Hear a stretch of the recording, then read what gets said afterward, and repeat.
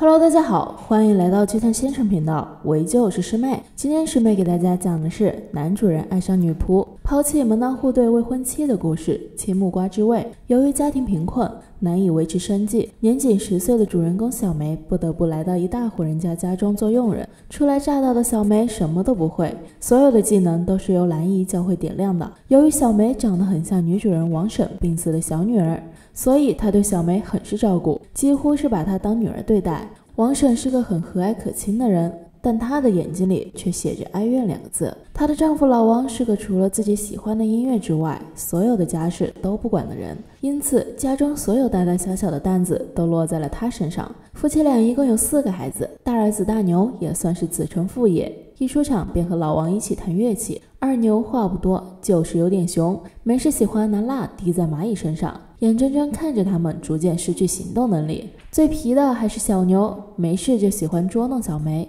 初次见到小梅时，他的眼神也是有些莫名的怪异。当小梅擦地板的时候，他又故意弄脏刚擦干净的地方，走之前还得特意放个臭屁。晒衣服的时候，也要弄脏刚洗好的衣服。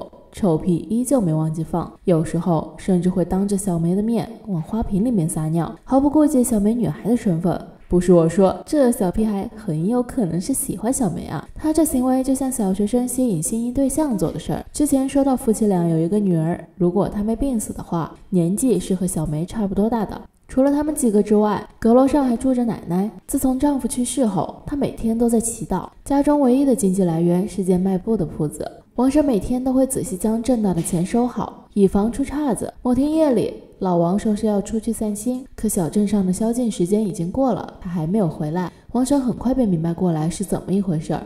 一看首饰盒，果然里面的东西都没有了。整天都在防小偷，却忘了最大的潜在小偷就是她的丈夫。这已经不是第一次发生，之前还有过几次，每次都是将钱拿走之后离家出走。小女儿就是在她第三次出走期间病死的。为此，她已经很久没有离家，可不知道为什么现在突然又走了。家里所有的积蓄都被拿走，米剩的也不多，布铺的生意更是不怎么好。他们只好勒紧裤腰带过日子。老王走后的某天晚上，二牛偷听到奶奶和王婶的谈话。原来父亲离家出走是因为在外面有别的女人了。奶奶非但没有安慰儿媳，反倒将这件事怪在王婶身上，说是因为她的无趣才会看不住男人。知道真相的二牛做不了别的什么，只能默默安抚一下辛苦的母亲。好在他们的生活开始慢慢变好，不再过得那么紧凑。这天家里来了位客人，这位客人是大牛的好基友阿全。其实，在这之前，小梅已经见过阿全一次。并且对他一见钟情。为了阿全，他特意换上自己最好看的衣服，拒绝兰姨的帮助，独自一人将晚餐做好，只为看到他的笑容。一段时间后，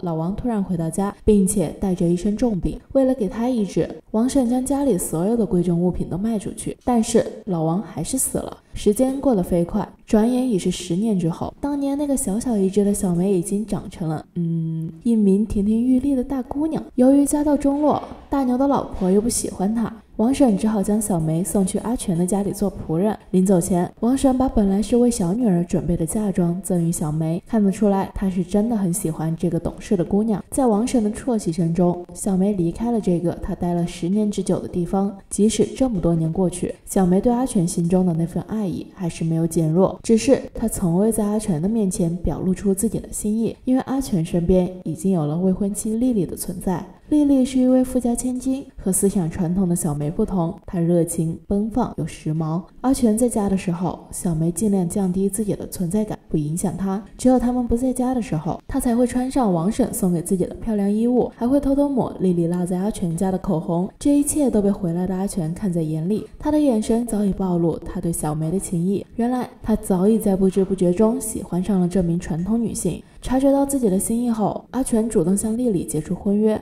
丽丽看见阿全所画的小梅之后，砸烂了所有自己送给他的东西。这么久以来，自己就像傻子一样，被这主仆二人蒙在鼓里。即使很伤心，他还是洒脱地摘下戒指，离开了这个充满欺骗的地方。丽丽走后，阿全和小梅不再你偷看我一眼，我偷看你一眼，而是正式开始处对象。阿全教会了小梅读书写字，教会了她各种以前都没有接触过的东西。恋爱虽然平淡。但又处处透露着生活的气息。岁月静好这个词用在他们身上，无非是最合适的形容。容词，故事在一片宁静当中便结束了。好了，我们下期再见，拜拜。